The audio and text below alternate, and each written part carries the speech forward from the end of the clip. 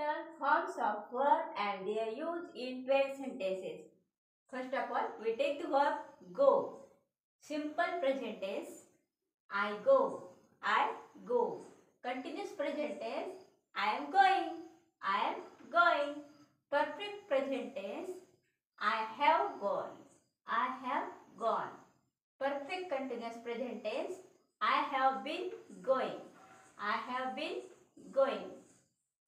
Simple past tense, I went, I went. Continuous past tense, I was going, I was going.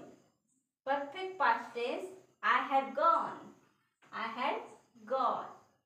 Perfect continuous past tense, I had been going, I had been going.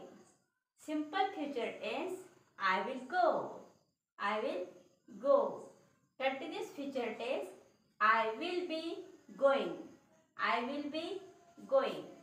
Perfect future tense, I will have gone, I will have gone.